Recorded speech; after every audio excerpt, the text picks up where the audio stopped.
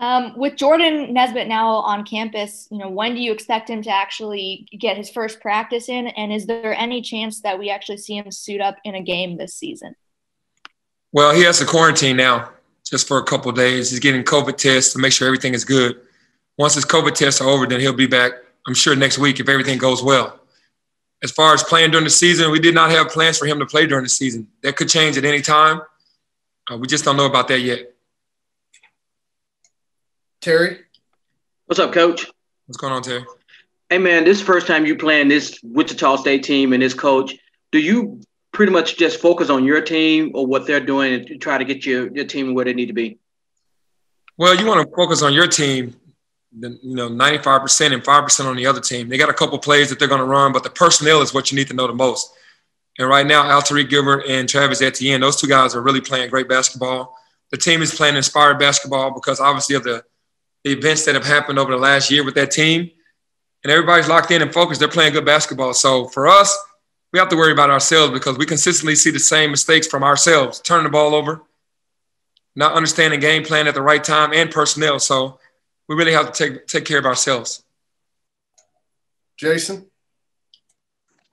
Hey Penny, how did the um, how did the Nesbitt deal come together? Has it been in the works for the for a while? And um, is it if he doesn't, if he's not able, you know, if you guys don't play him, uh, I would assume you consider it worth it to have him on campus, even even if he doesn't play this year. Yeah, he was pretty much done at the prep school that he was at, and he was just kind of around town, really not doing much. He had already graduated, so it was a good idea from his father, and uh, and I talked about it and just said, you know, maybe it's time for him to come to come to school. So he wanted to come to school. He's here now. It's going to be good for him to get get around uh, the campus to get this half of a year in to see what it's like, the, the style, the energy, our game plans, hear the verbiage and the language, get, get to know the teammates. And uh, if that comes to a point where he's going to feel comfortable enough to say, you know, I, I want to play, or if we say, hey, we need you, we, we see you're looking good, you've caught on everything, then maybe we'll get to that point then. If he does play, um, what type of role do you see him playing I think we'll that'll that'll be judged from his play when he starts with us, just to see where his level is and what's going on and his understanding. He might could play some point, he probably could play some two. We don't know yet. Terry? Hey, any update on Damion and any other injuries or health relate, relating to the team? Damion has practiced the last couple days, uh, just precautionary reasons in Tulsa with him because the health is is is definitely number one for our guys not to you know force him out there, especially with concussion stuff. Have to be really careful. But now he's been practicing. Danielle. Halo was in here talking about how you know you guys need to speed things up, get more shots than you put up uh, on Sunday in, in Tulsa. How do you find that balance between playing fast and limiting mistakes? And is there a game this season where you feel like you guys have hit that sweet spot? You know, that is a good question, Daniel. It's it's really tough because the guys have shown that when we play fast, they don't make the right decisions. We do need to play fast, but they have to not try to make the home run play. And I don't I haven't seen one game this year where we've actually done it to the best of our ability. If, if we could say anything, maybe the St. Mary's game, the first game of the year, every, all the cylind- everything was hitting on all cylinders. Boogie was shooting the ball well, guys were fast breaking, and we we played pretty well. But other than that, I can't remember another game where we were just getting out and getting after it. In that little stretch against South Florida, when we made the comeback, we did it then. But besides that, we just haven't done it well. Is that something that you think is because of the, the youth of this team, or is it because you've kind of changed what you've been doing on the offensive side of the ball? I think it's just, you know, the youth, they're risk takers at the wrong time. Sometimes you just can't you can't make the home run play every time. You just got to make the simple play that's right in front of you. And guys are just trying to do way too much. Sometimes it's in, in good spirits to try to get a ball to somebody that hadn't touched the ball in a while or that they think is open, but it's just not smart a lot of the times. And we just have to be smarter. Jason?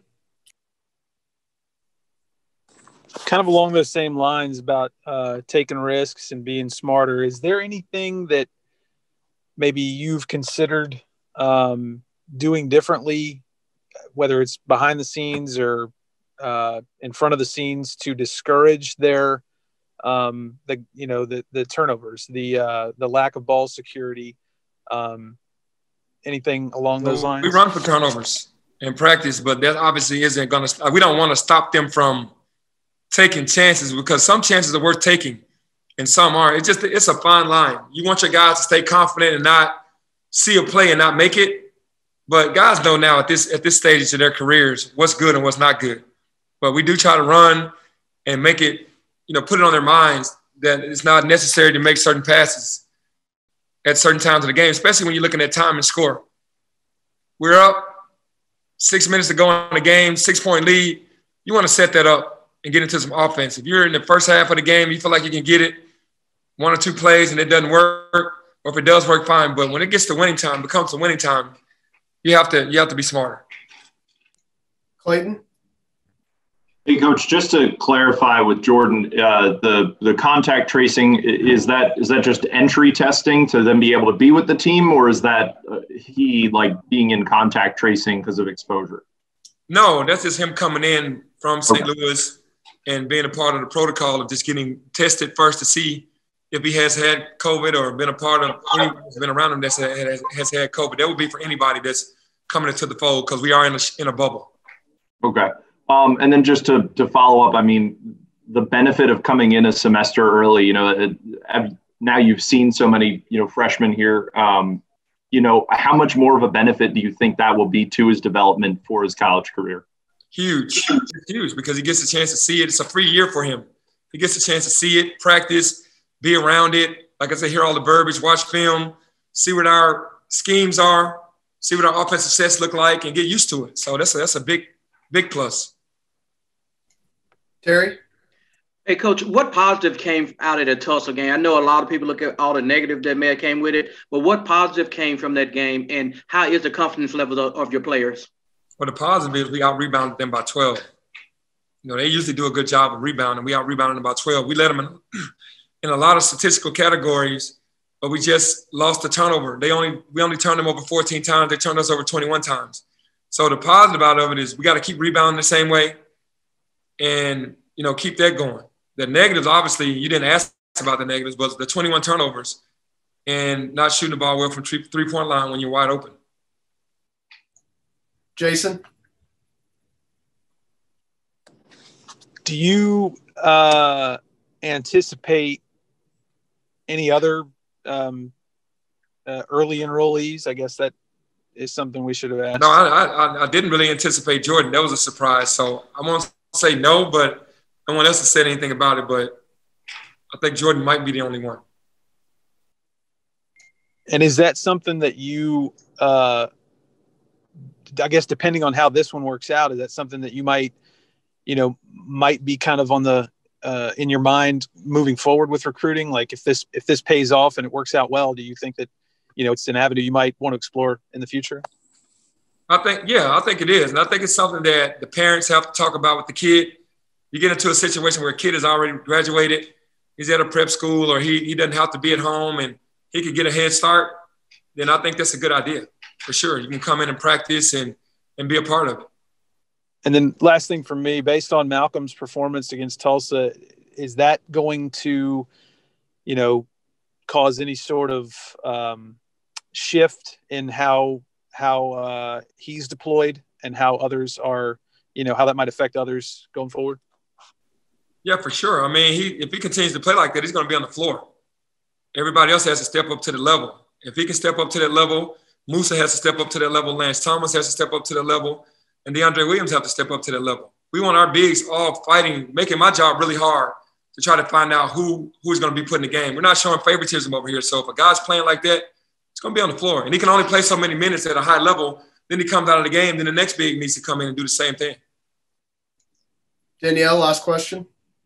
I want to go back to when we were talking about, you know, deciding which risks to take. How much of that, when it's happening in the moment, um, do you put on each individual guy, and how much of that is, you know, maybe a, the point guard who's on the floor at the time, or someone else who you think of as a leader? I guess like whose responsibility do you think it is to to make sure that those correct decisions are happening? Well, you can put it on the point guard, but then you know we're an equal opportunity team. Whoever gets the rebound can take the ball up. we don't force anybody to get the ball to the point guard. So the flip side of that is so many guys have the opportunity to touch the ball, and maybe that's my mistake because I want to play free and I want to run. It makes us quicker. We have one of the fastest paces in the country because of that reason. We don't want to have to just get it to the point guard. And guys just have to, you know, take care of their responsibility on the highest level. And they're not doing it. They're just being very nonchalant and just not understanding and thinking through things. And everybody has to have that responsibility. And if you've never been on this level to understand that the path that you think that might go through might not because the guy's arms are longer, the guys are more athletic and faster, then you got to start recognizing that. And we're putting more emphasis on it in practice about what's there and what's not there. All right. Thank you, coach. Thank you.